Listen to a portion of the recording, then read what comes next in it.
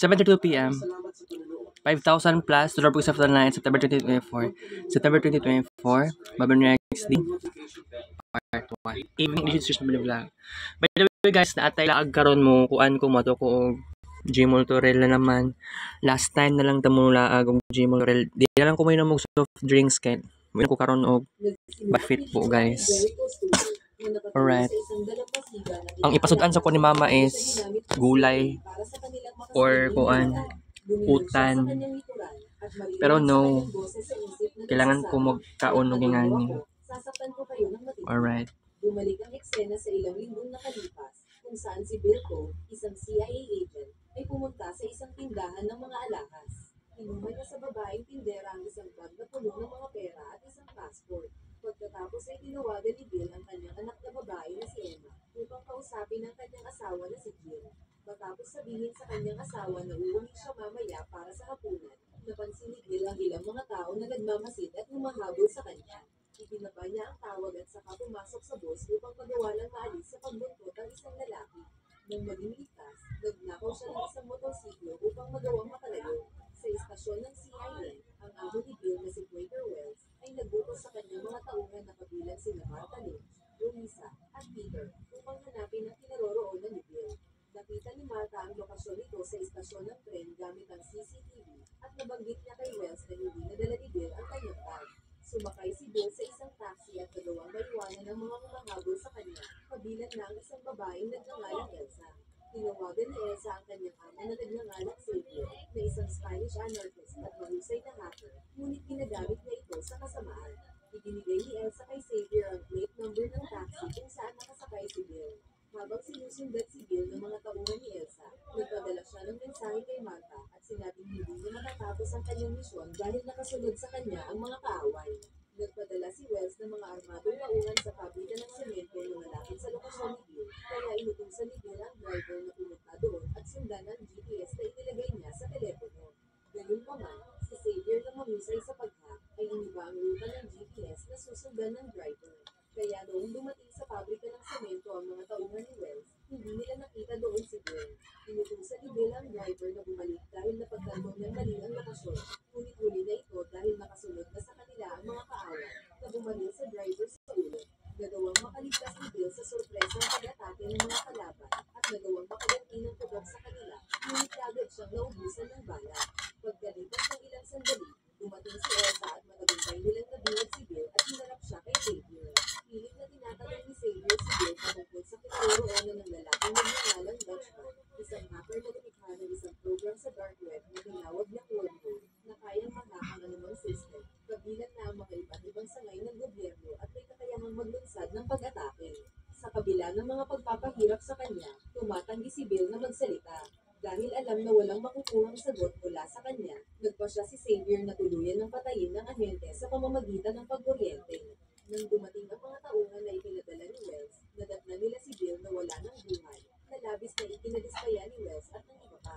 Kinabukasan, nagpa siya ang CIA na makipag-ugnayan kay Dr. Franz, isang scientist na may tinatrabaho patungkol sa isang memory program na nagpapahintulot sa mga individual na ma-access ang mga alaala ng isang namatay na subject.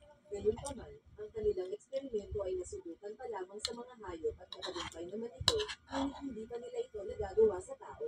Sinabi ng ahente sa doktor na ang utos ay para sa banta ng seguridad at kinakailangan nila ang kanyang tulong sa lalong madaling panahon. Ipinaliwanag niya rin sa doktor na ang kanyang sadya ay upang ipasubok ang eksperimento ng doktor sa kanilang namatay na ahente dahil siya lang ang nakakaalam kung saan ito itinago si Batman. Ang CIA pala ay sinusubukang makipagnegosasyon kay Batman na bilhin ang kanyang hard drive na naglalaman ng mga code na may kakayahan na maglunsad ng pag-atake. Si Dutchman ay naging apo ni Xavier at tinuruan ito ng mga skills sa pag-hack. Ngunit nang malaman nito ang mga planong kasamaan ni Xavier, nagpasya siyang tumakas sa kanya at magtago. Alam niya na kapag ibinigay niya kay Xavier ang wormwood, hindi maganda ang kalalabasan ng mga bagay-bagay. Nais niya na ibigay ito sa mas responsabling kamay katulad ng CIA at pagiging kapalit lamang nito ay sapat na proteksyon para sa kanya at ilang pera kasama ang isang passport upang magbagong buhay. Sa rekomendasyon ni Dr. Frank, pumunta ang dalawang ahente sa isang bilangguan upang kunin ang preso na si Jericho dahil siya ang perpektong tao para sa isasagawa nilang operasyon. Ipinaliwanag matandang nangangasiwa sa bilangguan na si Jericho ay isang marahas na killer at may sakit 20 sa kutsara katawan, kanon. 20 kutsara corn sa logo tape di suray. pagkahuli, pagmamahal at iba pa. Hindi niya rin naiintindihan ang lipunan at kung paano umasa ng tama ang isang tao. Gayunpaman, si Jericho ay mayroong frontal lobe syndrome kung saan hindi tuluyang na-develop ang frontal lobe nito sa utak na kadalasang sanhi ng aksidente noong bata pa. Siya ang napili ni Dr. Kraft dahil alam niyang makakayanan ng kanyang utak ang isasagawa nilang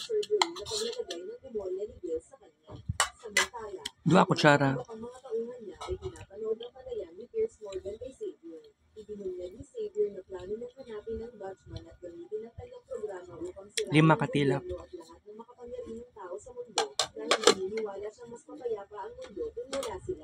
Isinagawa ni Dr. Kraft at ng kanyang mga kasama ang surgery. Ngunit nagkaroon sila ng kaunting problema na maaaring mapatay si Jericho kung ipagpapatuloy nila ito.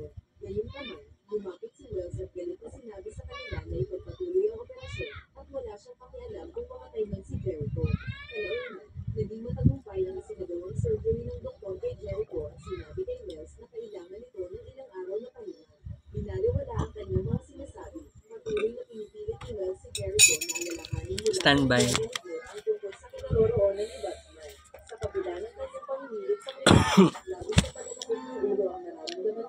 Three parts po tayo sa evening edition series sa memorya wala man ni kuan eh, wala man ni si Ma'am Floor. Wala man ni tawag si Ma'am Floor. Kaya si Wells at inisip niya na pagpapasinagawa nilang operasyon, kaya sinabihan na niya ang kanyang mga taungan na linisin ng kalat. Samantala, si Dutchman ay gumamit ng payphone at sinubukang tawagan ang numero ni Bill, ngunit ang asawa nito si Jill ay sumagot. Tinanong ni Dutchman kung nasaan si Bill, na mangiyak-ngiyak naman na sinagot ni Jill na patay na ang kanyang asawa. Labis na ikinagulat ni Dutchman ang kanyang narinig at hindi na nagawa pang makasagot kay Jill. Sa kabilang banda, dinala na palabas ng mga ahente si Jericho upang dispatcherin siya. Lumapit si Dr. Franks at binigyan si Jericho ng painkiller para sa kanyang pananakit ng ulo. Tinanong ni Jericho kung palalayain na ba nila siya. Ngunit sumagot lamang ang doktor na alagaan nito ang kanyang sarili. Alam ang kanyang magiging tahimik na sa sikretong pumilos si Jericho sa likod ng kotse habang naghahanda ang mga ahente na patayin siya. Ni Jericho ang kaunting parte ng pinto at gumawa siya ng isang patalim mula dito. Pagkatapos ay nilusot niya ito patungo sa leeg ng driver at agad siyang sinaksak. Sinubukan ng ahente na iligtas ang kanyang kasama, ngunit kalaunan ay nauli sila sa pag-crash sa isa pang sasakyan. Lumabas si Jericho mula sa kotse at agad na tinanggal ang kanyang pagkakadapos. Hinihan niya ang sigarilyo ng lalaking nakabangga nila at pagkatapos ay kinaladkad ng lalaki papasok sa sasakyan ng mga ahente. Itinapoy niya ang sigarilyo sa tumatagas na gasolina na nagdulot ng pagbiyag ng sasakyan. Pumunta si Jericho sa isang convenience store kung saan kinain niya ang order ng isang lalaki at kumuha pa ng soft drink bago umalis ng hindi nagbabayad. Pagkatapos ay nilapitan niya ang isang van kasama ang tatlong lalaki at sinabing kukunin niya ang kanilang sasakyan. Dahil malamang na tumatanggi ang mga lalaki, walang hawang binugbog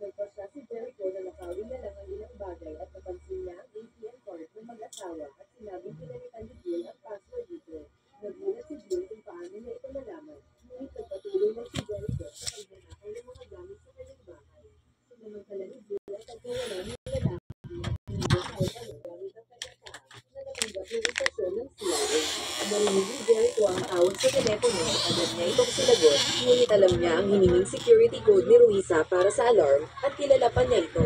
Nagawang makatakas ni Jill mula sa pagkakagapos at pinuntahan agad ang kanyang anak, ngunit Gawas ko po. Magkuhan sa ko eh. Kung mo ko project ko. Mag-vlog sa letra. Patapos Ha? Dili mag kuha na good ni third year na ni. Lisod na kayo ng third year. Eskwela ka college call? Muskwela ka pohon. Dili lang. Oh, gawas ako lang. at pati na rin ang kakayahan ng kanyang item. Nakarating sa CIA ang ginawang pagkakalito sa Jericho sa bahay.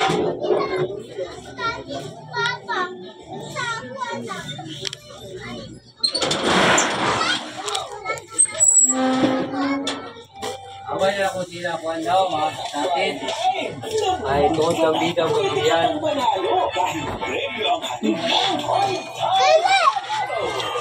Nabalita, nabalita siya yan.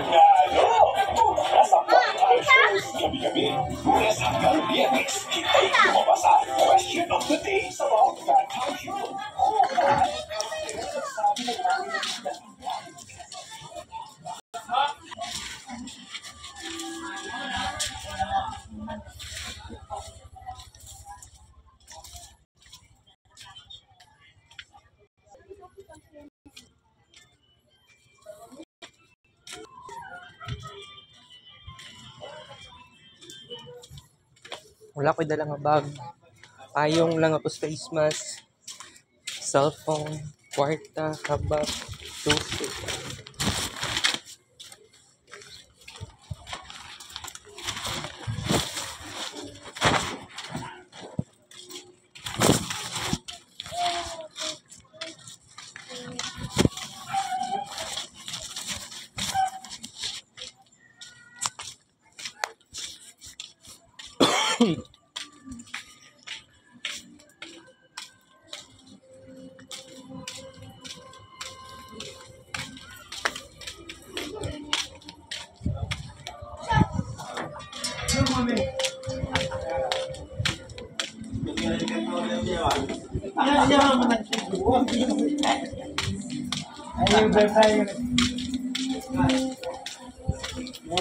kabak, toothpick.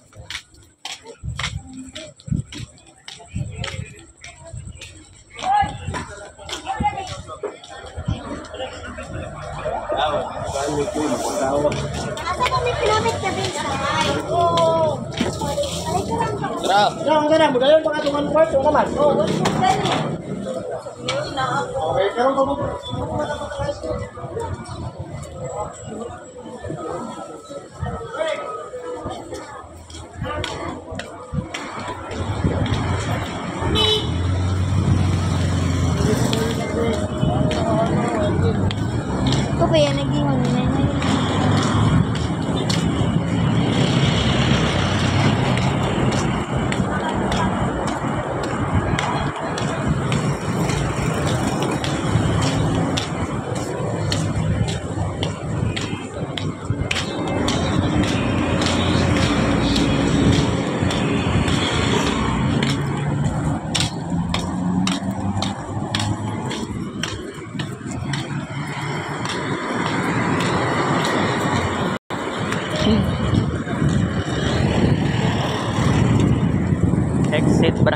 Darcy, alright.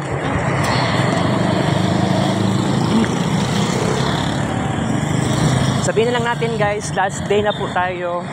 Mag-inom o biofit. Okay? Alright. Last day na din tayo mag sakay-sakay og jeep. ano, ingani ako ang mindset sugod sugod ugma mag-focus na ko sa ACADS pero naglibog ko ani oy.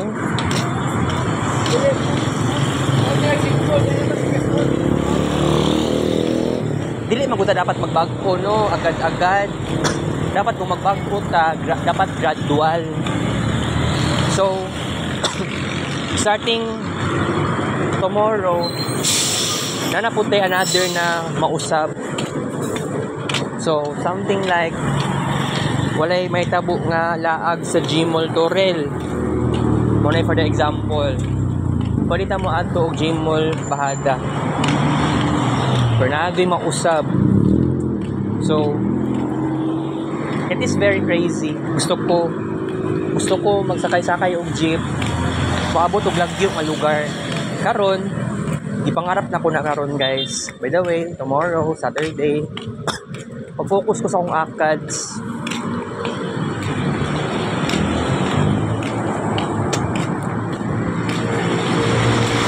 Saturday and Sunday, and then Monday, klase. Mabuang na ko. 6,000 plus, to Lord Bishop tonight, September 20, 2024, alright. Pero I believe mabuti tag 8,000 plus nga walking steps. Oo, mabuti tag 8,000 plus expected.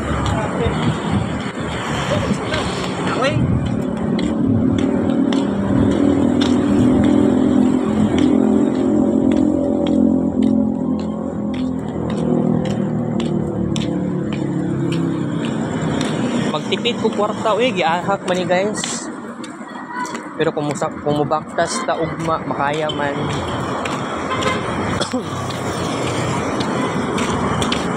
o ganay pinakamayang buhaton.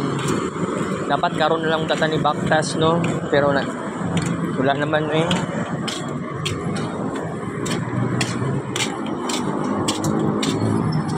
Pero effective ang kuan guys ang nag-fasting ko kaganiha. Kuan na ba ya to? more than 11 hours akong fasting. So, sa sunod, actually mag-fasting, uh, fasting naman ko gabi fasting na po kuha ni Karon. Dapat ugma sa buntag, hindi mo inom og tubig. So, inom nag tubig, mga alas 7 or alas 8 sa gabi, ah, sa buntag. It will be very hard to me na may tabo siya. Pero mag-inom yung tag biofit karon kay situation ako kagabi no grabe kayo. By the way, nakatulog kog maayo kaganiyang hapon. Less than 30 minutes. Ipukaw pa ko sa inahan. Bullshit kayo.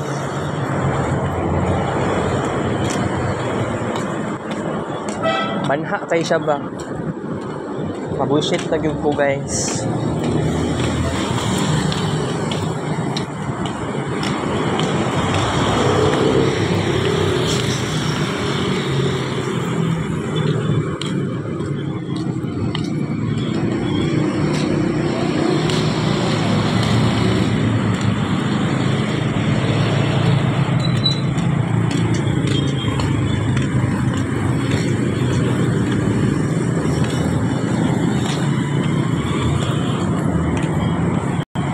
Lugi.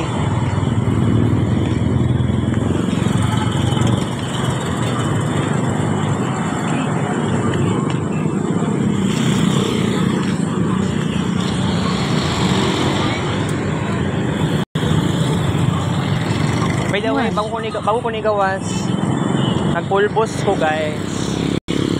Alright, Ross Boulevard, yes.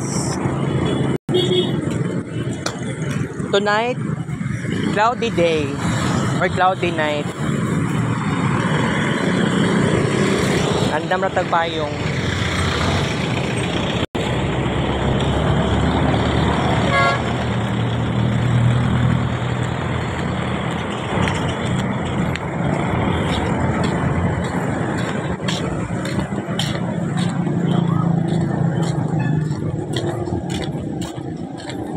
Kunya ani pag muli na kong balay, magyaw-yaw na pulong inahan ako ani.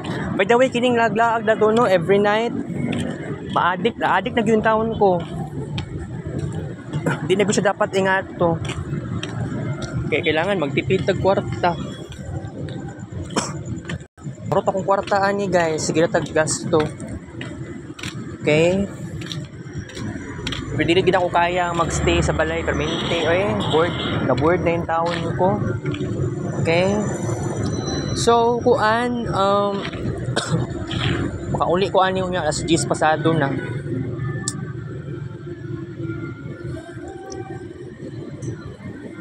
Wala pa na ako gichat akong mama, bahala na siya eh. Yaw-yaw na po na siya. Lakas lagi ma- maka bad vibes. O asa na ang jeep? Asa nang sakyanan? Kaya mo sakay na ko. Basig mausap na ko na kong desisyon na ni. Wala dyan din taon ba?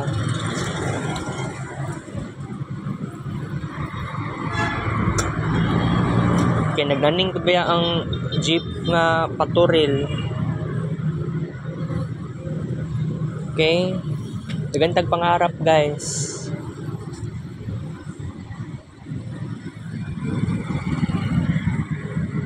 Pero I hope kung payat na yung taon ta ni pagka next year eh lalo na pag mabutag second semester.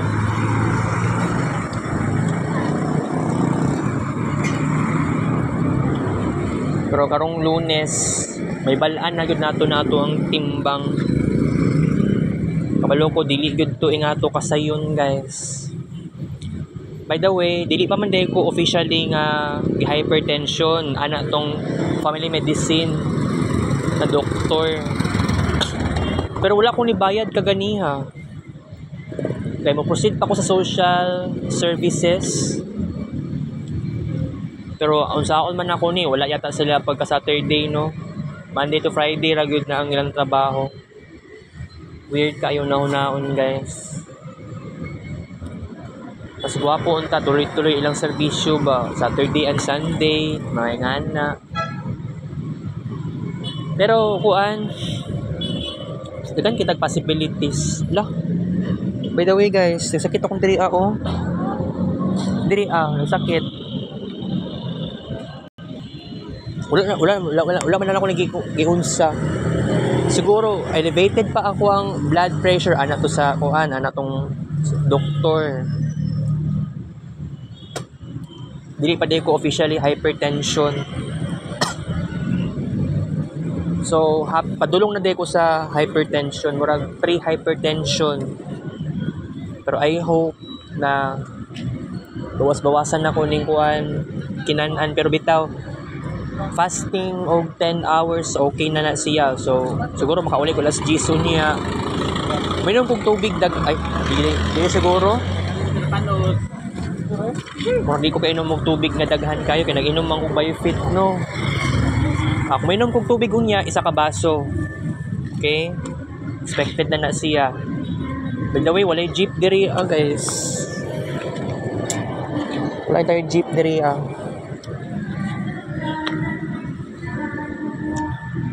Mausab akong desisyon ani guys. Mausab akong desisyon ani.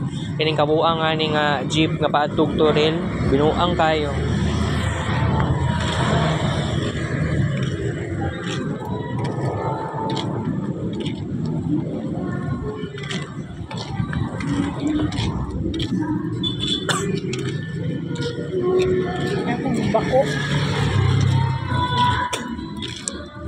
Nigara na pud baya ni kayo ni. Di na, na ako i-force akong sarili. Di ta katog Gmol Torel. Okay, fine.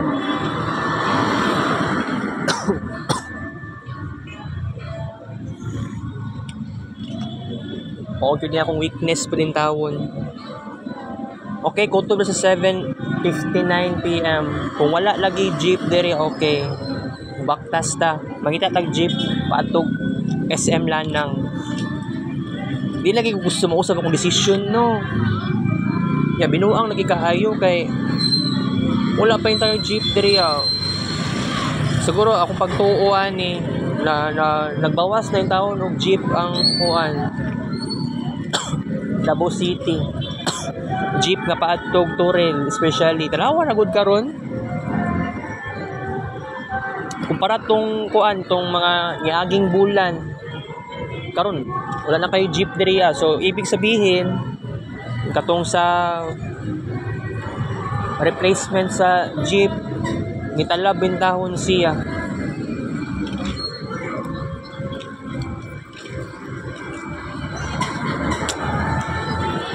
May kana nga nga plano no, dili na plano ni Marcos originally. plano gyud na ni Duterte na mag-modernize og jeepney. Tarawa oh, wala kay kuan diri. Wala wait, na jeep. Taraw daw na to, may puno na siguro ni. Eh, wala may masakyan.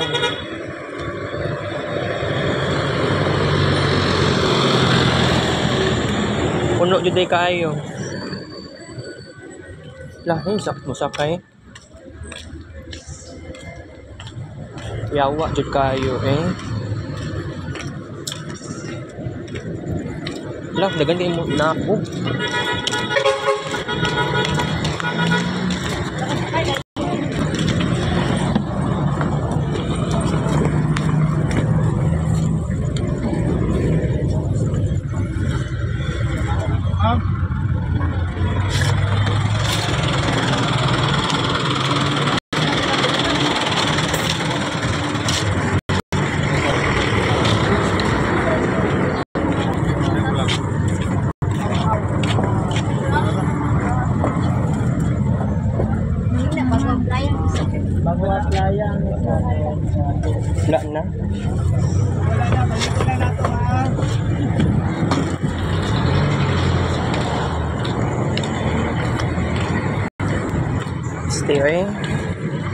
Hindi na ito pugson ni. SM lanang nang yutahan ni, oy.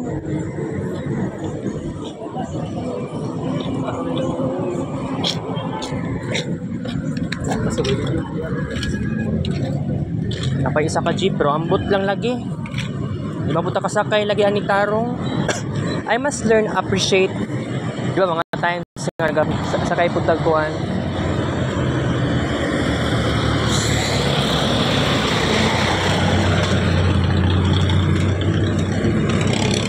Wala jud lagi.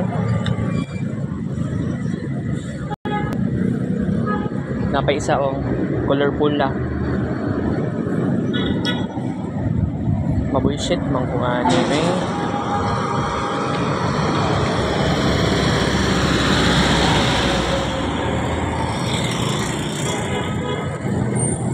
Wala na kay jeep ba? Nabuang na. Last na lang siguro ni. Ako may isa ka jeep pod. Good. Puno na pod ni. Napay jeep na sa unahan.